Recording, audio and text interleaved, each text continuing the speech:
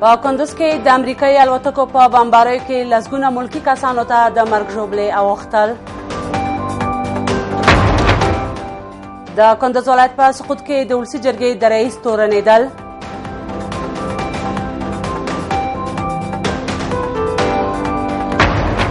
او امریکا وايي روسیه هم له ایران او بشار اسد رژیم سره د سوریې د ولسوژنې جګړې ته ورګډه شوې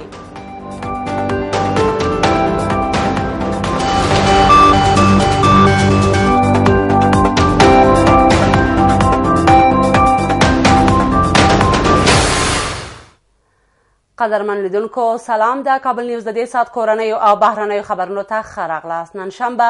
د دیارلس سوه څلور نوي کال د تلې میاشتې یولسمه نیټه ده چې د روان میلادي کال د اکتوبر میاشتې له درېیمې نیټې سره سمون لري دا هم بشپړ خبرونه په کندز کې د امریکایي الوتکو په برید کې لسګونه کسان مړه او ټپیان شوي او د یو روغتون په ګډون ګڼې دولتي او خصوصي ودانۍ سوځېدلې دي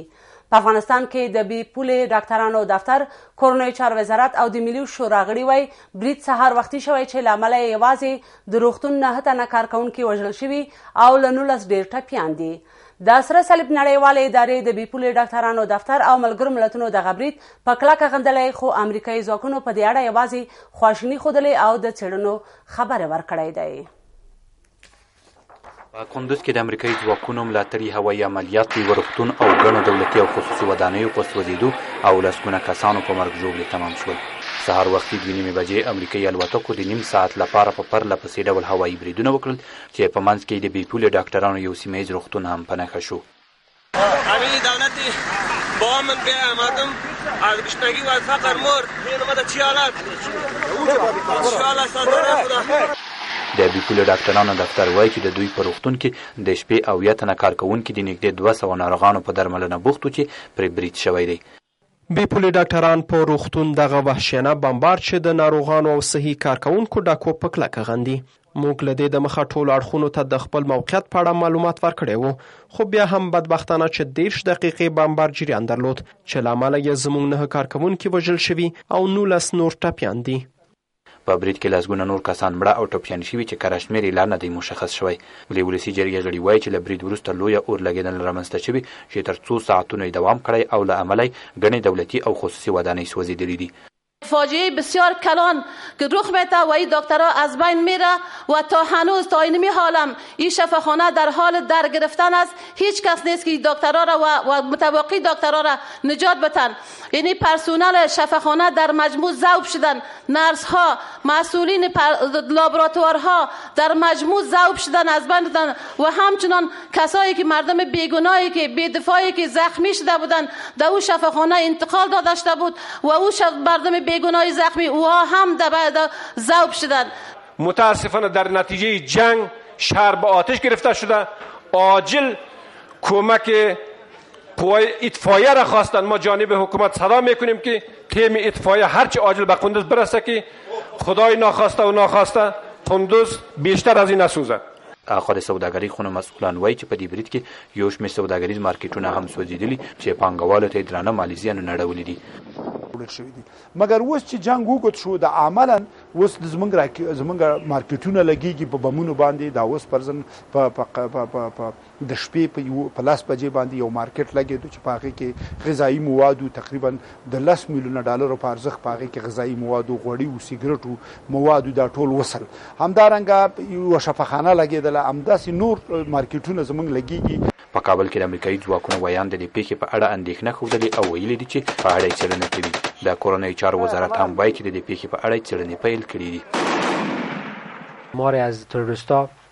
داخل ساحه تعمیر میشن یا از گذشته بودن که را ما فعلا بررسی میکنیم یا داخل شده بودن که پنهان شوند و یا هم احتمال از این میره که اینا شاید زخمی ها و کسایی که قطارایشان است یا قماندانایشان است از شفخانه بکشن خوب احتمالات است این در حال حاضر ما فقط روی احتمال و فرضیه ها گپ صحبت میکنیم اخوا د بشري حقونو خپلواک کمېسیون د کندوز روان وضعیت په اړه اندېښنه ښودلې او له ښکېلو اړخونو یې غوښتي چې د ملکي خلکو او د مرستندویو ادارو د کارکوونکو ژوند ته جدي پاملرنه وکړي. ما در ارتباطات که با قندوز داریم و ارتباطات که با دفتر ساحوی خود داریم و هم با مردم داریم آگاه هستیم که در قندوز فجیح ترین نوع خشونت علیه انسان جنایت علیه انسان بالاترین نوع برخورد غیر قانونی به شعن و منزلت و مقام انسانی صورت گرفته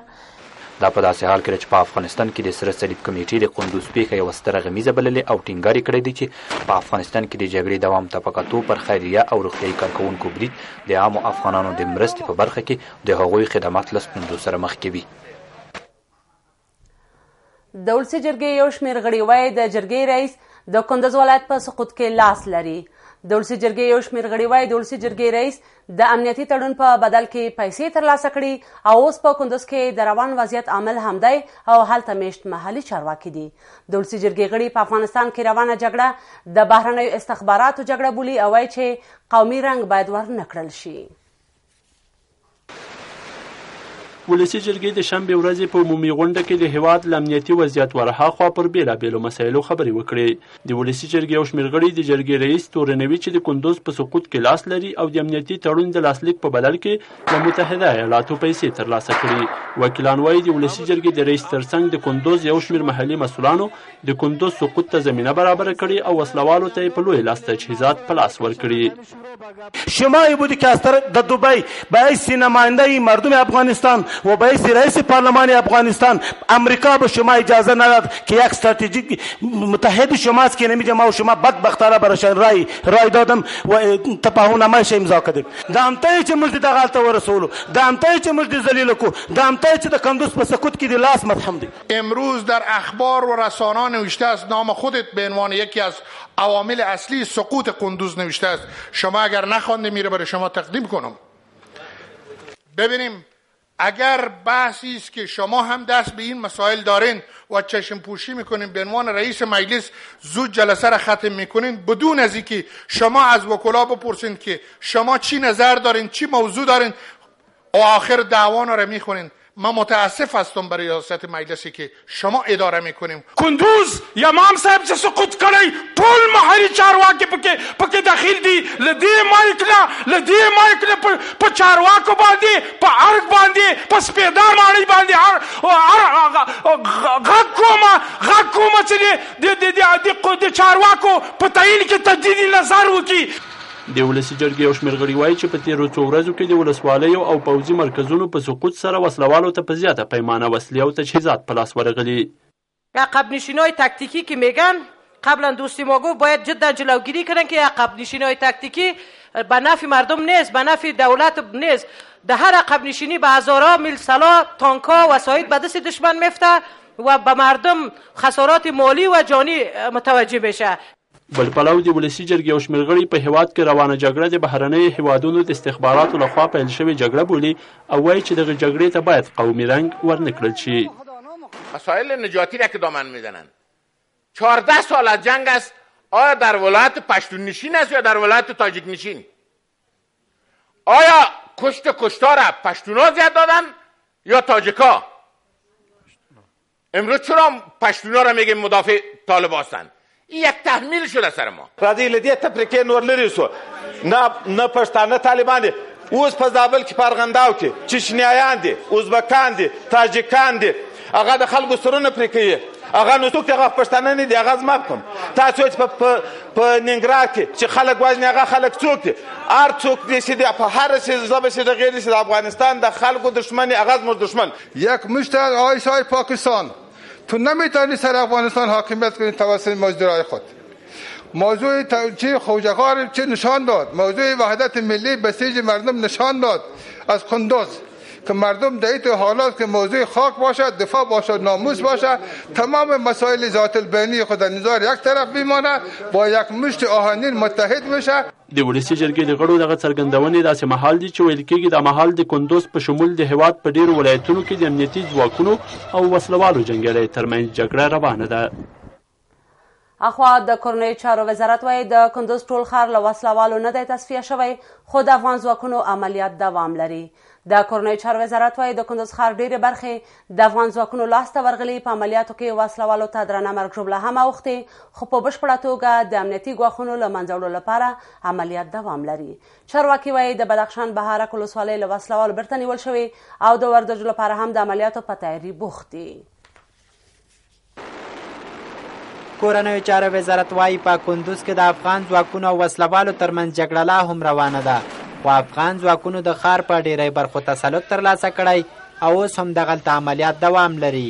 د کورنیو چارو وزارت چارواکي وایي ټول ښار له وسلوالو نه دی تصفیه شوی او په کندوز کې د شته امنیتي ګواښونو له منځه وړو لپاره تصفوي عملیات روان دي. مونږ دا ادعا نه ده کړی چی مطلق ټول ښار نوز تصفیه شوی زمونږ عملیاتونه ښه روان دی په ښار کی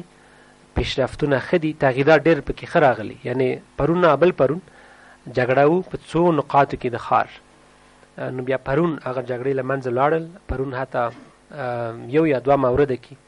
خلک شاهد ول چې په یو ځای کې موږ عملیات درلود کورنیو چارو وزارت د روانو عملیاتو په ترڅ کې وسله والو ته د درندې مرګ ژوبلې اړولو ادعا کوي او وایي یوازې د دوه ورځو په عملیاتو کې شپږ دېرش وسله وال نیول شوي دي. سی دقیقه پیش شش نفر از تروریستا که در تعمیر پنهان بودن بازداشت شدن زنده گرفتار شدن دیروز هم نزدیک به سی نفر تنها در داخل شهر تروریستایی که اینا دیگر نمیتونن فرار کنن خوب است که نمیتونه فرار بکنه و رای فرارشان مسدود است چهار طرف و اینا یا کشته میشن یا بازداشت میشن دیروز هم ما سی نفره در نتیجه عملیات هایی که از طرف قطعات خاص ما مشترک از اردوی ملی افغانستان و پلیس و امنیت ملی صورت میگیره اینا بازداشت شدن په همدې حال کې د کندوز په ګاونډیو ولایتونو تخار او بدخشان کې هم د ناامنۍ راپورونه ورکول کیږي او په ولسی جرګه کې د دغو ولایتونو وکیلان خبرداری ورکوي چې که حکومت ورته پام ونه کړي نو د کندوز ښار په شان د سقوط ویره شته خو د کورنیو چارو وزارت بیا بیرته له وسلوالو د بدخشان د بهارک ولسوالۍ د نیولو خبر ورکوي او وایي د وردوج ولسوالۍ لپاره هم د تیاری په حال کې دي بالاخره حکومت چی میخواهد از تخار که امروز تخار در, در آستانه از دست دادن بزرگترین نقاط استراتژیکش است امروز از 55 قریه ای که در ولسوالی در قد هست تنها یک قریه و یک شهرش مانده دیگه همه از دست رفته در خاجه غار قریب بود نقاط استراتژیک بگیره دوباره نیروهای جهادی با اسلحه دست داشتهشان خودشان رفتن جهاد کردند مقاومت کردند و اینا رقیب راندن بهارک و بردوچ دو نقطه بسیار اساسی است برای ما شب گذشته شب گذشته ما نیز عملیات های در بهارک و بردوچ داشتیم اما یک عملیات ما بسیار مؤثر بود که والی نام نهاده، طالبان برای بدخشان که فسیح الدین مولای فسیح الدین نام داره یک جنایتکار بسیار بزرگ بود یک قاتل بزرگ مردم افغانستان و نیروهای امنیتی افغانستان بود از بین برده میشه این پیشرفت بسیار مهم است که باعث این میشه که ما وارد بهارک میشیم و روز گذشته شب گذشته بهارک یا یا ولسوالی بهارک دوباره از وجود تروریستا پاکسازی میکنیم هنوز هم عملیات های ما ادامه داره بر وردوج برنامه ریزی شده کورنیو چارو وزارت زیاتوي د ننګرهار د اچین ولسوالۍ په عبدالخیلو سیمه کې د تیرې ورځې په عملیاتو کې د داعش وسلوالې ډلې شلغړي وژل شوي او دا په تیرونۍ کې دغه ډلې ته تر ټولو لوی اوښتي تلفات دي دا په داسې حال کې ده چې په شمالي ولایتونو سربېره اوسمهال په څه باندې شلو ولایتونو کې افغان ځواکونه له وسلهوالو سره په توده جګړه بوخت دي د بغلان د ډنډغوري تفاهم لیک په پایله کې دوه زره بېځایه شوې کورنۍ بیرته خپلو سیمو ته ستنې شوي د سرحدونو او قبایلو چارو وزیر چې ولسي جرګې ته یې خبرې کولې وویل چې د بغلان په ډنډغوري کې له ولسي مشرانو سره شوی تفاهم لیک په سیمه کې امنیت راوستی او په کې وسله والو طالبانو ته امتیاز نه دی ورکړل شوی. د ولسي جرګې یو شمېر غړو له دغه تفاهم لیک څخه ملاتړ وکړ، خو ځینو نورو یې مخالفت کاوه چې له امله یې په جرګه کې فزیکي شخړه هم رامنځته شوه. ولسي جرګې د بغلان په ډنډ غوري کې له مېشتو قومي مشرانو سره د شوي تفاهم لیک څرنګوالي معلومولو په تړاو د قبایلو چارو وزیر او اړوند مسولان استجواب کړل. د سرحدونو او قبایلو چارو وزیر وایي چې د بغلان د دهنې غوري په ډنډ غوري سیمه کې له میشتو قومي مشرانو سره په سیمه کې د امنیت ټینګښت په هدف یاد تفاهم لیک لاسلیک شوی دی. ګلاب منګل وایي چې د دغه تفاهم لیک د لاسلیک پر مهال د بغلان والي، امنیه قوماندان او ولایتي شورا په شمول ځایي چارواکو برخه درلوده او تر دې مهاله یې په سیمه کې د امنیت او سولې ټینګښت سبب شوی. دغه یو مهم سوله ییز د ولس د ملاتړ او د ولس د پشتیباني یو ډیره غوره نمونه وه چې موږ وکولای شول په بغلان کې د خلکو په ګډون، د ولس په ګډون، د مشرانو په ګډون سیمې ته سوله راولو او د جنګ مخه ونیسو. د قبایلو چارو وزیر وایي، د دغه تفاهم لیک پر اساس د بغلان د ډنډ غوري قومي مشرانو ژمنه کړې چې طالبانو ته به په سیمه کې د امنیت خرابوالي اجازه ورنه کړي. منګل وایي، د دغه تفاهم لیک تر لاسلیک وروسته د دوه زرو په شاوخوا کې بې ځایه شوې کورنۍ بېرته خپلو کورونو ته ستنې شوې دي. نیروهای امنیتی و دفاعی ما یک خطوه هم به عقب نرفته ما یک سانتی متر جای با مخالفین رها نکردیم با خدا باور کنین نماینده محترم زمانی که ای ای ای ای, ای امانتانای بجا شده ما پس به منطقه می رفتن زن و مرد و طفل از خوشی گریان میکردن هیچ فکر نمیکردن که دی منطقه صلح میاین خو د ولسي جرګې یو شمېر غړي له دغه تفاهم لیک سره مخالفت کوي او وایي چې دغه کار طالبانو ته امتیاز ورکول دي از یک طرف به قوانین مداخله صورت گرفته از طرف دیگه چی تضمینی وجود داره که امیر سفیدای محترم ماری سفیدای معزز ما در تباری و هماهنگی با طالبا اجرات نکنند. ما صراحتا اعلان میکنم که فقط موقع دادن به طالباست به خاطر تجهیز و تسلیح هرچی بیشتر و عملات هرچی بیشتر سر پل خمری و شارای مزار کابل خو د ولسي جرګې یو شمېر نور غړي دغه تفاهملیک د ډنډې غوري سیمې ځایي اوسېدونکو او دولت په ګټه بولي او وایي هغه کړۍ چې له دغه تفاهملیک سره مخالفت کوي امنیت په ډنډې غوري کې خپلو شخصي ګټو ته ګواښ بولي نه یک تعداد هستن که میخواین که جنگ با جنگ فقط حل کنیم و میگن که چرا شما ماندین که شاره یا شا... ولسوالی را بمبارد نکنه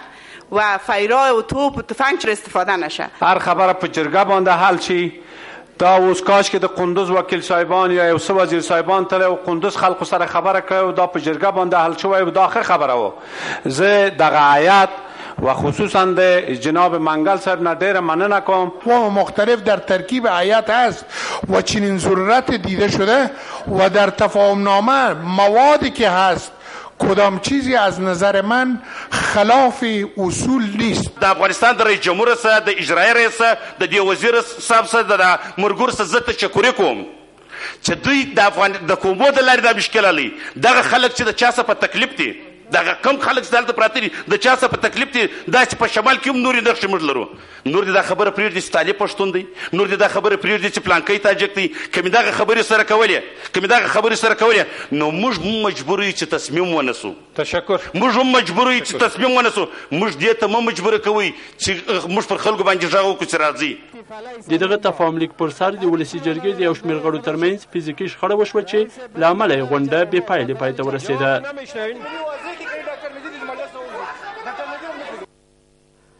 په کندوز کې روانې جګړې پانګوالو ته په میلیونونو افغانۍ زیان اړولی د سوداګرۍ خونې مسولان وایي په کندوز کې د روانې جګړې له امله ډېری صنعتي فابریکې زراعتي محصولات او تجارتي مارکیټونه له منځه تللي چې په میلیونونو افغانۍ د هیواد اقتصاد ته زیان اړولی اخوا د افغانستان بانک وایي که څه هم د کندوز جګړې د بانکي سکتور پر چارو ناوړه اغیز کړی خو د کندوز له سقوط مخکې د افغانستان بانک ټولې پیسې د مزار څنګه ته انتقال شوې وي په هېواد کې له اوو اقتصادي زونونو څخه کندز یو له هغه زون څخه دی چې اقتصادي راکړه ورکړه پکې خورا ډېره ده خو په دغه ولایت کې د روانې جګړې له امله د نورو ستونزو ترڅنګ خلکو او پانګوالو ته سخت مالي زیانونه هم اوښتي دي په کندز ښار کې لارې تړل شوي هډۍ بندې دي ښاریان د خوراکي توکو له کموالي سره مخامخ شوي او همداراز د شیرخان بندر وارداتي او صادراتي سیستم هم په ټپه ولاړ دی د سوداګرۍ خونې مسئولان وايي، په کندوز ولایت کې د جګړې د دوام له امله د دولتي تاسیساتو سربېره خصوصي سوداګریز تاسیسات هم له منځه تللي او سوداګرو ته یې په میلیونونو افغانۍ زیان اړولی. ډېر لوی زیان یې سکتور خصوصي ته اړولی دی او که دا جنګ نور هم ادامه وکړي، دا ښار ټول ورانېږي، بلندمنزلي دي، هلته ظرفیتونه دي، هلته د پروسس فابریکې موږ درلودلې د مالوچو فابریکې دي پخته راټولوو او بل طرف نه زراعتي وخت دی د فصل وخت دی زمونږ شولې شالي و د مني پخت دی کشت وخت دی او د خربوزو وخت دی په زر په سلهاو کانټینره زمونږ میوه هلته خرابه شوله او د منځه ځي زه فکر کوم چې په میلیونونو ډالر د افغانستان سرمایه دارانو ته او تجارانو ته ته اوس ضرر رسېدلی دی. د کندوز پر ښار د برید او پکې تر دې دمه د روانې جګړې له امله د ژوند ټول لومړني سهولتونه او د خلکو د اړتیا وړ سیستم له منځه تللی او دا وېره شته که حالت همداسې روان وي نو ښاریان به د خوراکي توکو له نه شتون سره مخ شي خو د سوداګرۍ خونې مسؤلان وايي لا هم په کندوز کې کافي د خوراکي موادو ګودامونه شته چې د وضعیت له ښه کېدو سره به سم بازار ته راویستل شي. موږ په کندوز کې په کافي اندازه مواد لرو، دا اوس یې لرو، زموږ ګودامونه ډک دي، زه په اطمینان سره ویلی شم که حکومت چیرته امنیت برابر کی او د په قندوز کې بیرته په نورمال شکل باندې د خلکو روزګار شروع شي سکتور خصوصي حاضر دی چې په ډیرو سختو شرایطو کې د خپل خلکو په خدمت کې دی او مواد الته په ارزانه نرخ باندې حتی د ننګرهار د قندهار او د پکتیا تاجرانو حتی ما ته اول راکړی دی چې موږ حاضر یو چې بدون د پیدې بدون د ګټې نه موږ مواد الته ورسو او حتی کومک وکړو که څه هم ویل کېږي د طالب وسله والو لخوا د کندز د نیولو سره سم د ښار د سرو زرو بازار، صرافۍ مارکېټ او بانکونه هم چور شوي، خو د افغانستان بانک مسؤلان بیا وایي چې د کندز له سقوط مخکې یې ټولې پیسې د مزار څانګې ته انتقال کړي او داسې هېڅ کوم رسمي مکتوب نشته چې ګواکې د بانکونو پیسې چور شوې وي. له نیکه مرغه د افغانستان بانک توانیده چې خپل اکثره پیسې د قندوز نه وباسي او مسونځي ته ورسوي فقط هغه میده پیسې او مندرسه پیسې چې د بستهبندۍ امکانات یې نه و چې هغه هم ډېر لږې دي هغه په په نمایندګۍ کې پاتې شوي دي نور موږ اکثریت مطلق پیسې مسون او محفوظ او خوندیزي ته انتقال کړي چې د هغې لحاظه هیڅ کومه ستونزه هغه ځای کې نه لرو او ځای په ځای شوي دي له کابو یوې اونۍ راهیسې په کندوز ولایت کې د افغان ملي ځواکونو او مخالف وسلهوالو ترمنځ جګړه روانه ده چې له امله یې د کندوز ښار ډېر زیانمن شوی او په وروستۍ پېښه کې د امریکایي ځواکونو په بمبارۍ کې ګڼې خصوصي او دولتي ودانۍ سوځېدلې دي. کابل ښاروالي وايي، د شیرپور پروژې د پوروړو په ګډون د لویو تجارتي مرکزونو له خاوندانو د عوایدو راټولولو توان نه لري. د دغې ادارې مسؤل وايي، د تېر کال په پرتله د کابل ښاروالۍ په عوایدو کې یوویشت سلنه کموالی راغلی او دا مهال دولتي او نادولتي ادارې د کابل ښاروالۍ تر دوه ویشت میلیارد افغانیو ډېر پورونه نه ورکوي سرپرست ښاروالوي د تیلو د نشتوالي او هغو ستونزو لامل چې د تدارکاتو ادارې رامنځته کړي په کابل ښار کې کثافات ډیر شوي دي د شیرپور ښارګوټی لس کاله وړاندې ورغول شو او تر ډیره پکې لوړپوړو او نفوذ لرونکو کسانو د امارات او اروپا هیوادونو د نقشو له مخې کورونه جوړ کړي دي له دغو کورونو ځینې حتی په دېرش زره ډالرو کرایه ورکړل شوي دي خو له لسو ډیر کلونه کیږي چې مالکانو یې د دولت پورونه نه دي ورکړي نږدې یو کال وړاندې ولسمشر غني کابل ښاروال ته امر وکړ څو د شیرپور پروژې له پوروړو پیسې راټولې کړي خو اوس کابل ښاروالۍ وایي چې یوازې شپاړس تنه حاضر شوي چې خپل پورونه دولت ته ورکړي او پاتې شپږ شپېته کسان نه غواړي چې خپل دوه اعشاریه پنځه میلیونه ډالر پور دغه ادارې ته وسپاري دوی وایي د ښاروالۍ ادارې ولسمشرۍ ماڼۍ ته دوه میاشتې وړاندې د دغه مسئلې د عدلي تعقیب په مخه خبر ورکړی دی در مورد شیرپور درست است برای ما مهلت دادند که ما قرضها را جمع بکنیم ما البته کارهایی که از طرف ما میتونست انجام شود که او آدم پشت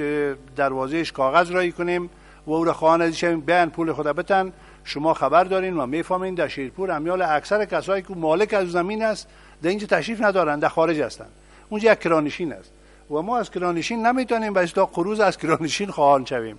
دو بار سه بار ما طریق میدیا میران کردیم از مجموعه از اونها حدود 15 16 نفر حاضر شدن که پول زمت زمین بپردازن تا بال 66 تن شهروندایی که در او ساحه زندگی میکنن پول نپرداختن ما پیشنهاد را بر طبق احکام قانون به ریاست جمهوری و ریاست اجرایی ارسال کردیم با لیست کسایی که پول نپرداختن البته این پول بالای 2.5 میلیون دلار است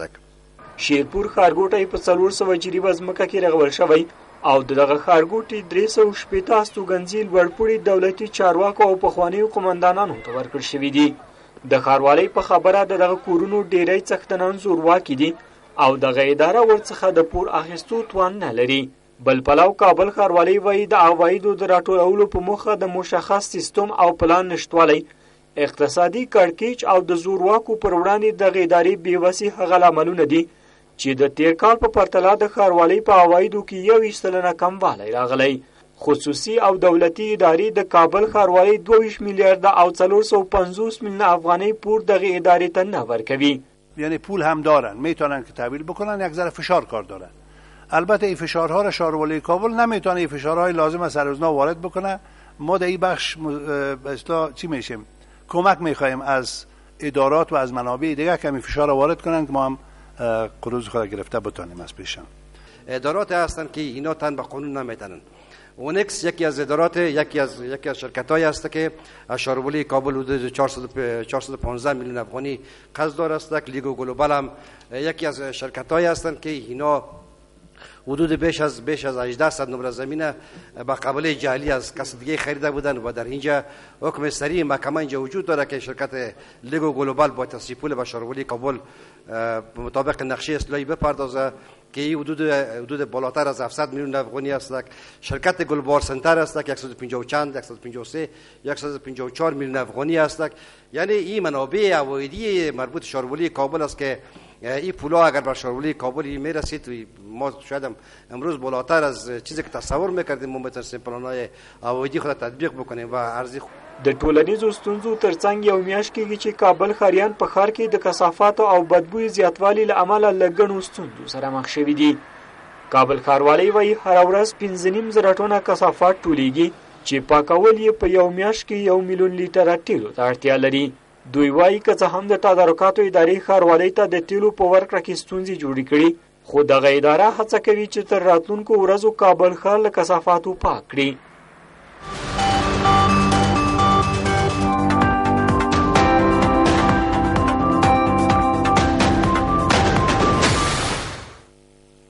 بیا هم ښه راغلاست. امریکا وایي روسیه هم له ایران او بشار اسد رژیم سره د سوریې د ولسواژنې جګړې ته ورګډه شوې. د متحده ایالاتونو ولسمشر په دې باور دی چې په سوریه کې د اسلامي دولت ډلې د ځپلو په پلمه د مسکو پیل شوي عملیات به دا ډله نوره هم پیاوړې کړي. پر امریکا سربیره ناټو او د اسلامي نړۍ مخکښ هیوادونه سعودي عربستان او ترکیه هم له روسیې غواړي چې په سوریه کې پیل شوي عملیات وځنډوي روسیې چې له تېرې پنجشنبې راهیسې په سوریه کې د داعش په نوم عملیات پیل کړي تر ډیره پکې نورو منځلارو ډلو او ولسي خلکو ته مرګ ژوبله اوښتې ګران لیدونکو د دې سات خبرونه پای ته ورسېدل له ملتیا مو مننه تاسو ته